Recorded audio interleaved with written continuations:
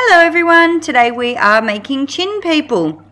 You will need googly eyes, Blu-Tack, some dog hair, a glue stick and a little bit of creativity. First select your googly eyes.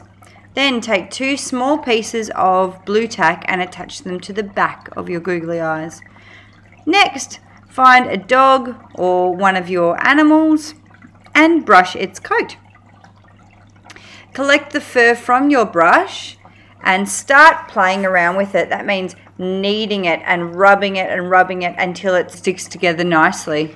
Then take your glue stick and start rubbing glue on your chin where you'd like to put the dog hair to represent the hair on your chin person. Then collect your dog hair and form it to attach to your chin. Attach your googly eyes and start having fun with your chin person.